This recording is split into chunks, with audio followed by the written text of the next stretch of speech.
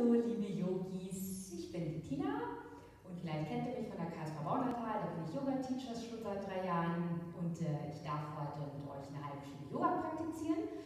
Für diese Yoga-Einheit, da braucht ihr eigentlich nur eine Matte oder ihr könnt euch zu Hause auf den Teppich auf den Boden hinlegen, also mit einer Unterlage. Könnt ihr auch draußen durchführen, die Yoga-Einheit. Und ähm, ja, dann wünsche ich euch erstmal viel Spaß und komm langsam an auf deiner Matte, setz dich gerne in einen Schneidersitz rein. Und wir starten erstmal ganz entspannt mit Atmen. Ganz wichtig, erstmal hier atme ein und wieder aus. Und komm erstmal bei dir hier auf deiner Matte an. Ganz entspannt atmest du durch die Nase ein und wieder aus. Schließe dabei gerne deine, deine Augen und achte dabei gerne, dass du immer noch in der Aufrichtung deiner Wirbelsäule bist, dass deine Hände entspannt auf deinen Knien, Oberschenkel ruhen und dass du erstmal nur für dich ein- und ausatmest. Spüre, wie du einatmest und du an Frieden und Kraft denkst.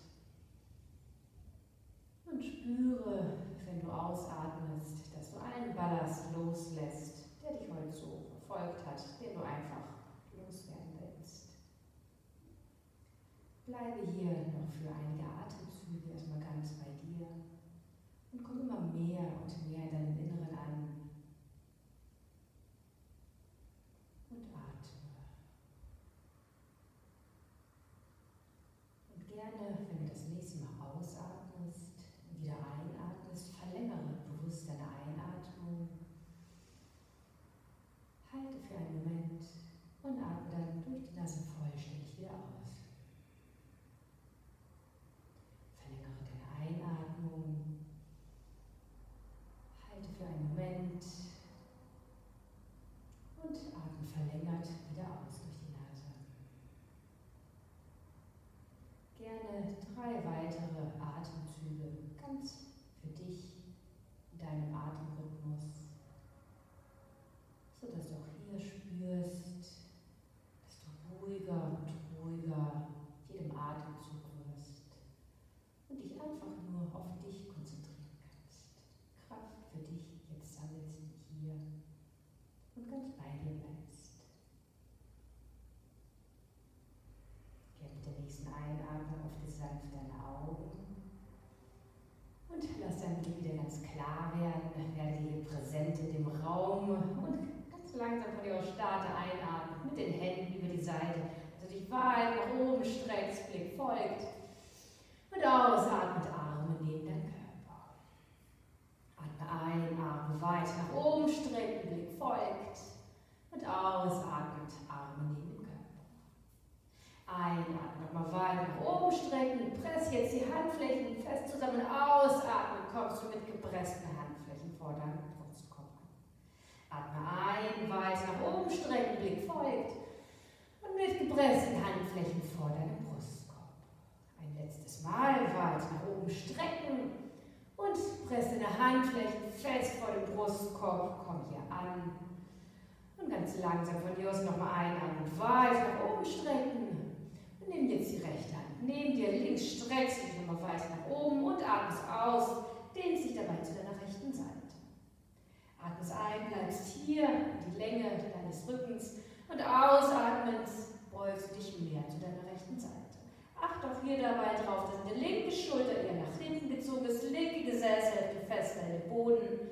Mit der nächsten Einatmung kommst du mit beiden Armen weit nach oben und ausatmen wechselst du Richtung. Einmal rechte Hand weit nach oben strecken und ausatmen dienst du dich zur Seite.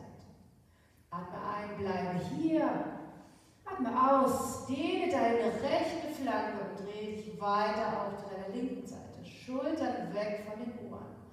Ganz langsam hier einatmen, weit nach oben die Arme nehmen und ausatmen, Arme neben den Körper. Lockere dich einmal hier kurz für einen Moment aus und komm in deinen ersten Vierfüßlerstand. Für deinen ersten Vierfüßlerstand platziere deine Handgelenke unter den Schultergelenken, deine Knie sind hüftbreit aufgestellt, Bauch ist leicht aktiv, dass der untere Rücken geschützt ist. Wir starten mit Cat Kakao, bring dabei einatmen, dein Brustkorb nach vorne, hebe dein Herz, atme ein. Atme aus, runde deinen Rücken, Kinn Richtung Brustkorb, komm zu deinem Katzenbuckel. Atme ein, Brustkorb führt, leichtes Hohlkreuz. Atme aus, runde deinen Rücken, Steißbein, zieh nach unten, Kinn Richtung Brustkorb, Bauchnabel nach oben ziehen. Atme ein, Brustkorb führt. Und ausatmet, runde nochmal ein letztes Mal schön den Rücken.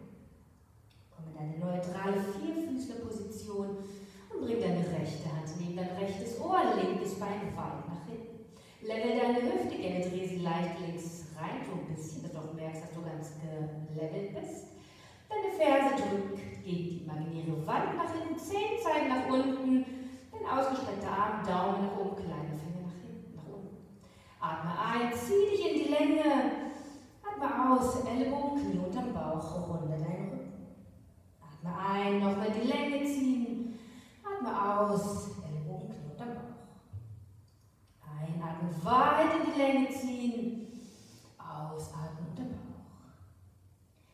Einatmen, die Länge ziehen und jetzt entscheide für dich, ob du jetzt hier noch für ein paar Atemzüge bleiben magst oder ob du dein linkes Bein anbeugst mit deiner rechten Hand dein Fußgelenk schnappst, in die Tigerposition reingehst, einatmen, Blick weit nach oben richten, nach vorne richten, ausatmen, die bleiben.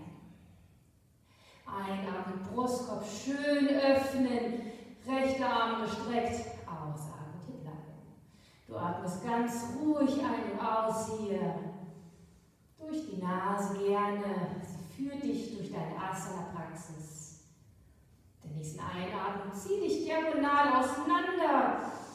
Und ausatmen, wir kommen alle in den Vierfüßlerstand. Tackern die Zehenspitzen auf, Gesäß Richtung Ferse, setz dich drauf. Einmal kurz die Hände auslockern. Ganz entspannt, keine Achten drehen, auslockern, so wie es für dich angenehm ist. Jetzt kommen wir in den Vierfüßler wieder. Wechsel die Seite, linke Hand neben dein linkes Ohr, rechtes Bein nach hinten. Level auch hier nochmal ganz bewusst deine rechte Hüfte. Du bist ganz gerade ausgerichtet, Bauch aktivieren. Linke Hand weit nach vorne strecken, Ferse hinten gegen die imaginäre Wand drücken. Atme ein, streck dich in die Länge. Atme aus, runde deinen Rücken, Ellbogen, Knie zusammen. Atme ein, die Länge strecken. Ausatmet, runde deinen Rücken. Einatmet, schön in die Länge. Ausatmet, runde dich. Bleib der nächsten Einatmung schön weit gestreckt und entscheide für dich, ob du hier bleiben möchtest oder auch hier gerne dein rechtes Bein anbeugst, mit deiner linken Hand dein Knöchel fasst. Und auch hier einatmen, Brustkorb nach vorne, schön hochheben, Brustkorb, Herz öffnet sich, anheben. Lass dich auch hier nicht sacken ein, sacken, bleib mit dem Blick weit nach vorne, Bild des Raumes gestreckt. Und atme ganz entspannt ein und aus. Lächeln dabei nicht vergessen. Und atme nicht vergessen. Den nächsten Einatmen, zieh dich nochmal schön auseinander. Und ausatmen, neutraler Vierfüßler, tackle die Zehenspitzen auf, Gesäß Richtung Ferse. Lockere nochmal deine Hände, kleine Achten drehen. Wir gehen auch hier wunderbar diese Plantarfasziendehnung der Fußfläche. Bleib auch hier für einen Moment in der Dehnung und gleich in der Gegenposition. Einmal kurz setzt du dich in deinen Fersensitz. Schau hier, ob das gut für deine Knie ist oder ob du hier gerne noch ein Stück weitergehen magst. In die Fußspanndehnung, deine Hände hinter dich platzieren und einmal die Knie weg von dem Boden. Brustkorb ist total locker, du gehst nur auf den Fußspann und auch hier schön dehnen. Ganz langsam von hier aus kommst du wieder in ein Vierfüßler. Gerne noch den Fußspann ausklopfen und hier bleiben. Mit dem nächsten Einatmen hebst du jetzt deinen rechten Arm über die Seite, weit nach oben. Und ausatmen gehst du durch dein Nadelöhr, rechte Hand unter deinen linken Atme ein, weit nach oben strecken. Atme aus, geh durch dein Nadelöhr. Einatmen, weit nach oben strecken. Ausatmen, jetzt legst du deinen Kopf auf den Boden zwischen Schläfer und dem Kopf. Deine rechte Hand ist ausgestreckt und du bleibst hier für zwei Atemzüge ganz entspannt. Und kommst dann mit der nächsten Einatmung mit der rechten Hand weit nach oben, streckst den Blick, folgt. Ausatmet, neutraler Vierfüßler. Atme ein, linke Hand weit nach oben strecken. Atme aus, linke Hand durch dein Nadel und Blick folgt der linken Hand. Einatmet, weit oben strecken. Ausatmet, geh durch dein Nadel. Nochmal einatmet, weit nach oben strecken. Ausatmen. Jetzt legst du deine linke Hand auf den Boden. Mit deinem Kopf kommst zwischen Schläfen und hinteren Kopf auf den Boden. Deine linke Hand ist total entspannt, locker auf dem Boden. Und du bleibst in dieser schönen Schulterdehnung noch für ein, zwei Atemzüge. Genießt auch hier die sanfte Dehnung der Drehung. Und ganz, ganz langsam mit deiner linken dann wieder weit nach oben einatmen. Streckst du dich. Ausatmend.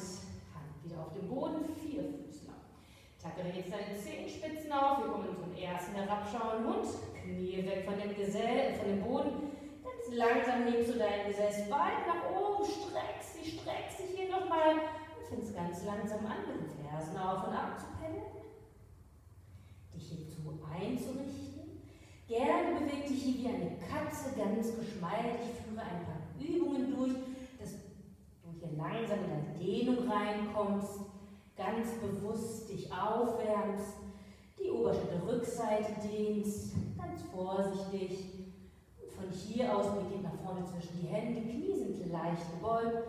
Komm mit deinen oder mehreren Schritten nach vorne, die halbe Vorbeuge einatmend. Ausatmend, tiefe Vorwärtsbeuge. Nacken ist vollkommen locker, die Schultern sind entspannt. Einatmend, langsam mit gebeugten Knien, Hände wie Seite, kommst du weit nach oben, streckst dich, atmest ein, Blick vor. Atmest aus, Talasana. Atmest ein, Hände wie die Seite weit nach oben. Atmest aus, komm nochmal in eine tiefe Vorwärtsbeuge. Beine schön gebeugt lassen, Nacken ist locker. Einatmet, halbe Vorwärtsbeuge. Ausatmet, tiefe Einatmet, Hände über die Seite mit gebeugten Knie. Langsam kommen nach oben, streck dich, Blick vorwärts. Ausatmet, Tadasana. Einatmen, weit nach oben strecken. Ausatmen, verschränke deine Hände in den unteren Rücken. Einmal die Schulter bewusst wegrollen von den Ohren.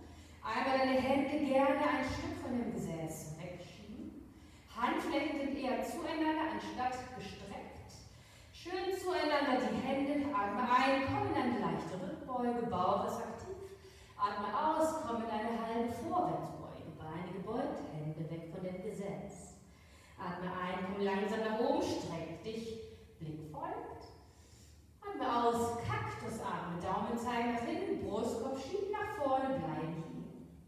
Atme ein, nochmal weiter nach oben strecken. Ausatmen, Hände den unteren Rücken, die Arme verschränken, komm in eine leichte Rückbeuge. kommst in eine tiefe Vorwärtsbeuge, Hände weg von dem Gesäß, Nacken ist locker. Bleibe hier noch für einen tiefen Atemzug.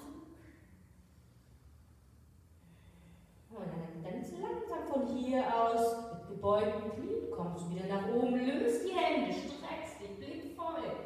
Schieb dich nach oben, atme ein und aus, atme Tadasana. Atme ein, Hände über die Seite weit nach oben. Atme aus, tiefe Vorwärtsbeuge. Atme ein, halbe Vorwärtsbeuge. Atme aus, setz die Hände auf den Boden, rechtes Bein ganz weit nach hinten. Atme ein, Brustkopf führt, langer Rücken. Atme aus, linkes Bein nach hinten, Chaturanga Dandasana. Handgelenke sind unter den Schultern, Bauch ist aktiv. Atme ein, bleibe hier. Atme aus, über die Knie, langsam legst du deinen Körper Richtung Boden Atme ein, schieb dich raus in die kleinen Ober. Atme aus, Stirn Richtung Boden, tacke die Zehenspitzen auf, Gesäß Richtung Ferse, herabschauender Mund. Ganz entspannt hier, die Ferse nochmal auf und ab peddeln. Kopf, ja, ja, nein, nein, ganz locker lässt du den Nacken. Denk an deine Gecko-Finger, Beine sind gleich gebeugt, geht nach vorne, atme ein, kommt nach vorne die halbe Vorwärtsbeuge mit ein oder mehreren Schritten.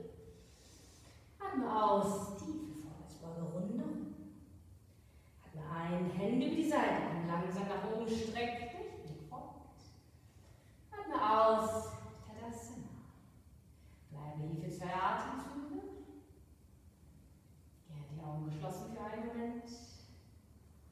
Freue dich auf die nächste Seite. Atme ein, Hände über die Seite, Beine nach oben, streck dich. Atme aus, tiefe Vorwärtsbeuge. Atme ein, halbe Vorwärtsbeuge. Atme aus, Hände Richtung Boden, linkes Bein weit nach hinten strecken.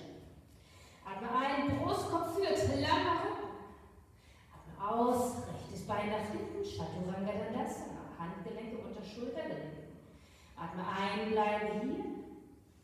Atme aus, über die Knie und der gesamte Körper legt sich langsam Richtung Boden Atme ein, roll dich raus in die kleinen Pumper.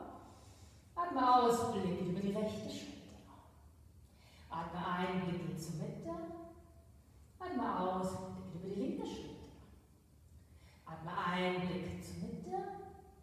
Atme aus, Stirn Richtung Boden, tackere die Zehen auf den Boden fest, Gesäß Richtung Ferse. Komm in Hund. Gerne hier pendel noch mit den Fersen auf und ab. Mach dich ganz entspannt, ganz gespannt. Kopf ja, ja, nein, nein. Schultern weg von den Ohren, Oberarme rotieren nach außen, Gesäß die höchste Stelle. Deine Hände haben zehn Finger, die alle gleichmäßig auf dem Boden abgelegt sind. Zwischen Daumen und Zeigefinger ist ein L. Beug langsam deine, Beul deine Beine wieder hier an. Langsam Beine anbeugen, Blick geht nach vorne zwischen die Hände, komm mit einem oder mehreren Schritten nach vorne in die halbe Vorwärtsbeuge, atme ein. Atme aus, tiefe Vorwärtsbeuge. Atme ein, Hände über die Seite weit oben strecken. Atme aus, wir noch für zwei, drei Momente und schau auch hier, wie es dir gerade geht, wie du dich gerade fühlst. Sind wir nach der ersten leichten Anspannung, wie auch hier dein Atem wieder ruhiger und ruhiger jetzt wird, wieder ganz bei dir bist, wunderbar aufgewärmt und von dir aus ganz locker einmal kurz auslockern insgesamt und wir kommen in unseren Baum. Für den Baum bitte ich dich, erstmal dein rechtes Bein zu erhöhen. Indem du den rechten Fuß schön auf dem Boden hast, schiebst du einmal einatmend alle Zehen weit nach oben und über außen nach innen jeden einzelnen Zeh auf den Boden festsetzen. Fußaußenkante, Ferse schön platzieren in den Boden, Kniescheibe nach oben leicht anziehen, Oberschenkel aktivieren wir, kommen in unseren Baum. Dafür nimmst du deinen linken Fuß an den Knöchel, an die Wade oder mit Hilfe der Hand die Innenseite des Oberschenkels Linkes Knie tendiert nach links außen. Rechte Gesäßhälfte aktivieren. Gerade auf rechter Rücken. Und auch hier, wenn du fest und stabil stehst, nimm deine Hände in diese Haltung, wo du gerne möchtest.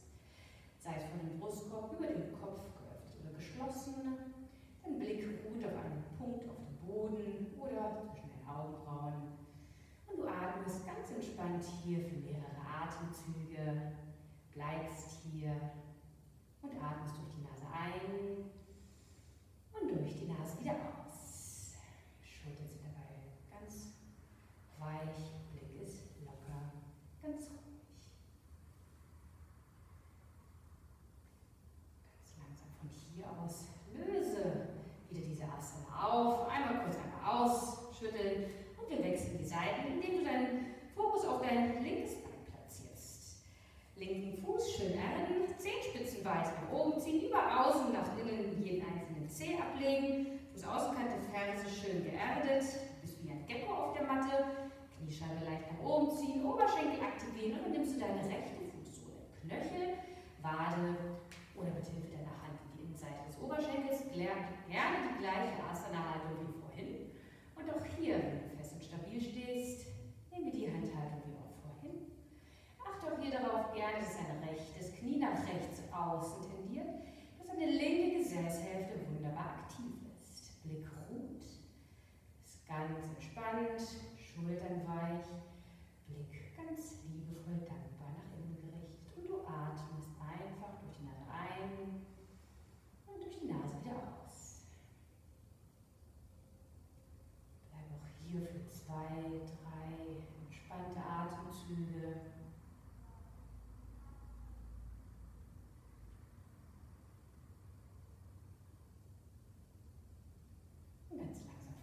Löse auch den ausschütteln. Wir kommen zu unseren Virkas, zu unseren Tarayasana, zu den Tänzern.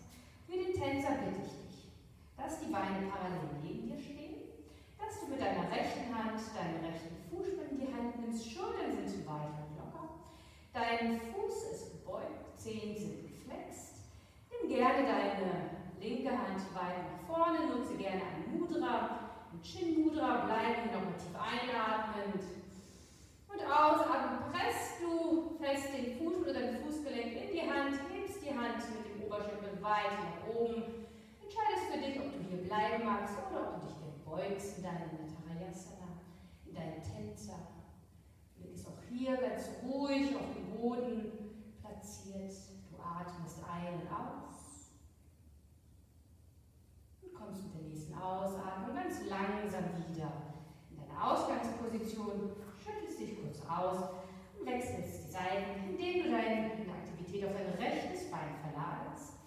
Deinen linken Fuß in deine linke Hand nimmst oder dein Fußgelenk, je nachdem, was du fassen kannst, ist okay. Und auch hier gerne für dich, finde erstmal deine Ruheposition, deine Zentrierung und dann, dann wenn du weitergehen magst, nehme deine rechte Hand weit nach vorne. Gerne auch hier das Mudra nehmen.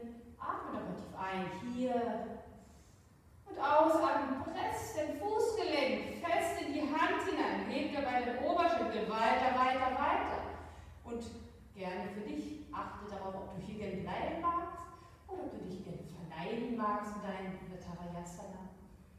Und du atmest auch hier ganz entspannt, ganz ruhig. Blick ist liebevoll nach dir innen gerichtet.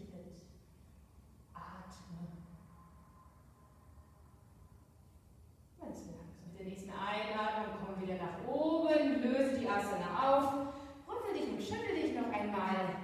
Und von hier ist ganz entspannt. Folgen wir nochmal nach vorne, einen kleinen Flow. Wir kommen nochmal zu unseren Sonnengrüßen.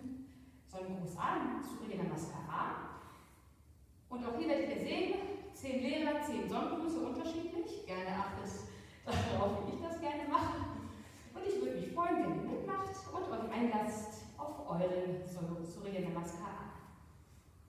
Dabei bitte ich dich im vorderen Drittel deiner Matte zu starten. Deine Füße sind parallel ausgerichtet. Fußinnen können parallel, große Zehen berühren sich, wenn du magst, Ferse leicht nach außen. Und auch hier gerne die Kniescheiben nach oben anspannen, deine Oberschenkel aktivieren, Steißbein zieht nach unten, Schambein leicht nach hinten. Und gerne einmal die Schultern rollen, die Arme sind neben dir ausgestreckt. Leicht angespannt, atmest du hier ein, lange, lange Wirbelsäule, bleibst kurz für einen Moment hier, Atmest ein und wieder aus, ganz kraftvoll. Mit der nächsten Einatmung nimmst du die Hände Seite weit nach oben, streckst den Blick folgt. Atmest aus, kommst in eine tiefe Vorwärtsbeuge. Atmest ein, halbe Vorwärtsbeuge. Atmest aus, Hände auf dem Boden, Chaturanga Dandasana. Handgelenk unter Schultergelenk. Atmest ein, bleibst hier. Atmest aus, über die Knie, langsam lehnst du dich Richtung Boden ab. Oberschenkel aktivieren, Fußball liegt auf dem Boden. Atme ein, kommt heraus in die kleine Cobra und atme aus, Stirn Richtung Boden, tackle die Zehenspitzen auf, Gesäß Richtung Ferse, herabschauender Hund. Nimm zwei tiefe Atemzüge, denke an deine Gecko-Hände, dein Gesäß die höchste Stelle am Körper hin. Blick nach vorne zwischen die Hände, Knie sind leicht gebeugt, komm mit einem deiner mehreren Schritten nach vorne, die halbe Vorwärtsbeuge, gerade Atme aus, tief Vorwärtsbeuge, Runde. Atme ein, Hände über die Seite weit nach oben strecken, Blick folgt. Atme aus, Tadasana. Atme ein, Hände über die Seite weit nach oben strecken. Atme aus, komm in eine tiefe Vorwärtsbeuge. Atme ein, halbe Vorwärtsbeuge. Atme aus, Hände auf dem Boden und komm wieder in dein Chaturanga Dandasana ein, bleibe hier. Atme aus, über die Magst, der gesamte Körper lehnt sich langsam Richtung auf den Boden. Atme ein, schieb dich raus in die kleine Pumpe. Atme aus, Stirn Richtung Boden, tackere die Zehenspitzen auf, Gesäß Richtung Ferse, herabschauender Hund. Gerne nochmal auf und abpendeln mit den Fersen, Schultern weg von den Ohren, Oberarme rotieren nach außen, Blicke wieder nach vorne zwischen die Hände, Knie sind leicht gebeugt, komm mit einem oder mehreren Schritten nach vorne, wieder in die halbe Vorwärtsbeuge, atme ein. tiefe Vorwärtsbeuge.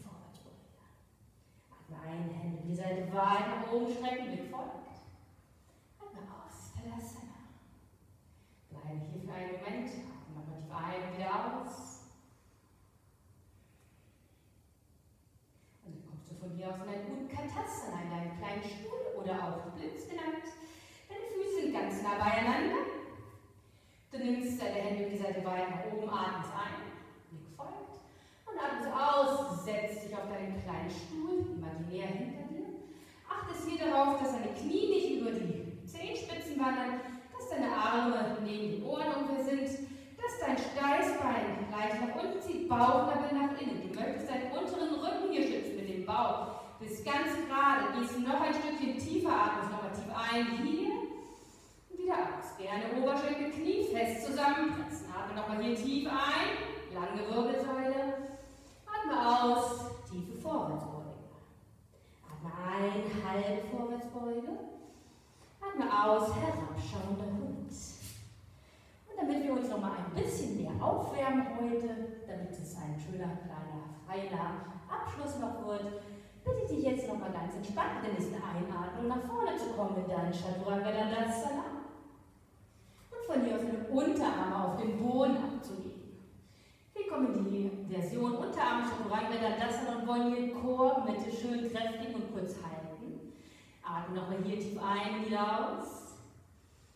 Und bleibe jetzt hier für einige Atemzüge. Dabei achtest du darauf, dass die Fersen tendenziell nach oben sich ausrichten. Dass deine Zehenspitzen auf dem Boden fest dagegen drücken. Dass deine Schultern nach außen unten sich drücken.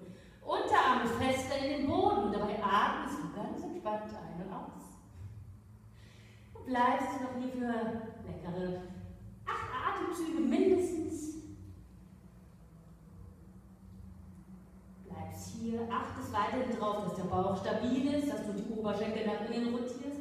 Noch mal ein bisschen mehr Kraft in die Unterarme reingibst. Steißbein nochmal leicht nach unten ziehst, den Bauch nochmal leicht aktivierst.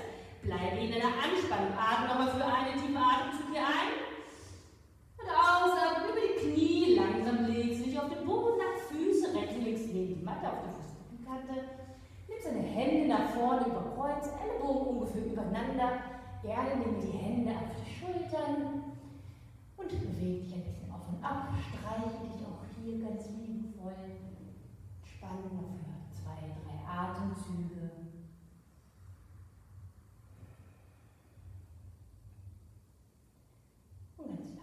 aus, löse die Asana-Haltung wieder auf, nimmst die Füße auf die Matte, rollst dich wieder langsam nach oben in deinen Vierfüßlerstand. Gerne auch hier nochmal kurz strecken und recken, wie eine Katze sich kurz bewegen, das tun, was für dich gerade gut ist. Vielleicht eine Katze, Kuh für einen Moment und dann ganz langsam von hier aus und wieder Ruhe rein. Gerne die Waden überkreuzen, kommt dein Gesäß auf die Matte, Beine vorne ausstrecken und gerne auslockern, Beine ausschütteln. Und dann von hier aus bleibst du noch für einen Moment hier, positionierst dich so, dass dein Gesäß entspannt auf dem Boden ist, dass deine Füße aktiv sind, Oberschenkel sind aktiv, Zehenspitzen zeigen nach oben. Und wir kommen in unsere Paschimuttanasana, in unsere tiefe Vorwärtsbeuge, indem du einatmen die Arme nochmal weit nach oben streckst. Und ausatmen, frei den unteren Rücken aus, beugst du dich nach vorne, als würde jemand vorne an dir ziehen und du beugst dich, beugst dich, beugst dich, beugst dich und wenn es dann nicht mehr weitergeht, lässt du deine Hände auf den Zehenspitzen, auf den Fußspannen, auf dem Boden da wo du dich wohlfühlst. Atme ein, Brustkorb leicht heben. Atme aus, lass dich tiefer sinken, nutze deine Beine als Hebel, dass du dich leicht nach vorne ziehen Atme ein, Brustkorb Atme aus, lass dich tiefer sinken, bleibe hier.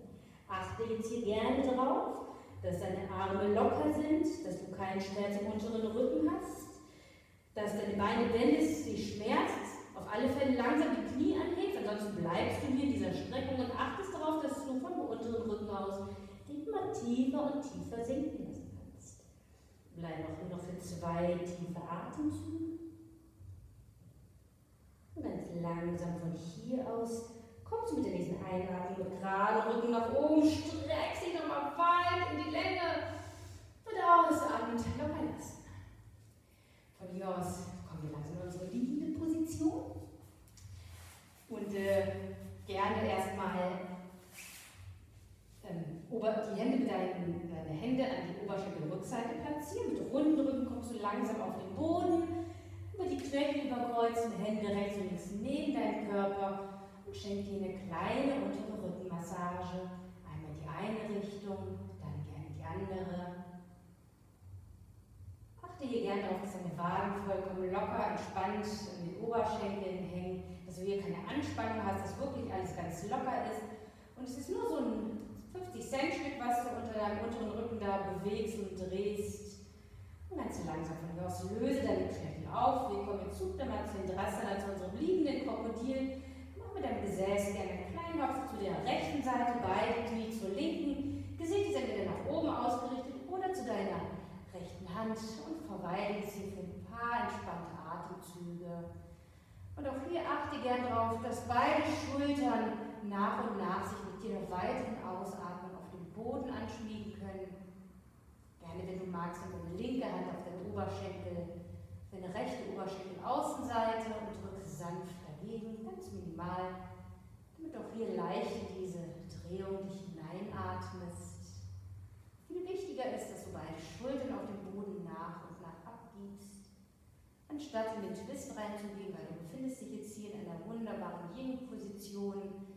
Nach dieser ganzen Anspannung möchtest du einfach nur Entspannung und du bleibst jetzt noch hier für zwei, drei Atemzüge. Gerne, wenn du zu Hause übst, auch noch mindestens für fünf Minuten. Je länger du hier bleibst, desto ruhiger wirkt sich das auf dein Nervensystem aus. Und ganz langsam von hier aus bringen wir mit der nächsten Einatmung beide Knie wieder zu dem Brustkorb, machen einen kleinen Hopf mit dem Gesäß zu der linken Seite, beide Knie zu der rechten Seite fallen lassen, die Hände erstmal wie Jesus Christ so neben dir ausgebreitet und auch hier Blick entweder nach oben ausgerichtet oder zu deiner linken Hand. Mit der rechten Hand gehst du auf deine linke Oberschenkel-Außenseite und achtest auch hier drauf, dass du Atemzug für Atemzug beide Schultern immer mehr abgibst in den Boden, ruhiger und ruhiger wirst und spürst, dass du jetzt vollkommen loslassen kannst. Der Anspannung kommt jetzt die Entspannung verweist sie noch für einige Atemzüge ganz in Ruhe bei dir.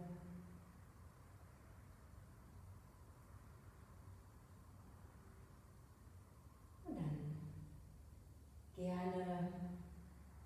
Komm wieder zurück in deinen Zifferblattkreis. Wir wollen aber den unteren Rücken hier entspannen, Knöchel nochmal überkreuzen, die Hände entweder auf deinen Knien lassen oder ausgebreitet, magst, wie deine Version gern ist, wie du dich entspannen magst. Einmal nochmal den unteren Rücken massieren, indem du in die eine Richtung drehst und dann gerne in die andere Richtung.